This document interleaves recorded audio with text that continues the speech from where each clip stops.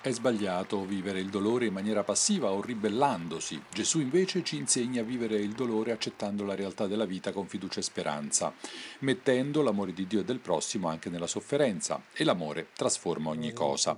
Lo ha detto Papa Francesco nel ricevere le associazioni e i centri che si ispirano all'opera del beato Luigi Novarese. Ai malati e ai sofferenti, Papa Francesco ha ricordato che il beato Novarese insegnava a valorizzare le sofferenze all'interno di un'azione apostolica portata avanti con fede e amore per gli altri. Con questo carisma, ha insistito il Papa, voi siete un dono per la Chiesa e siete soggetti attivi dell'opera di salvezza ed evangelizzazione.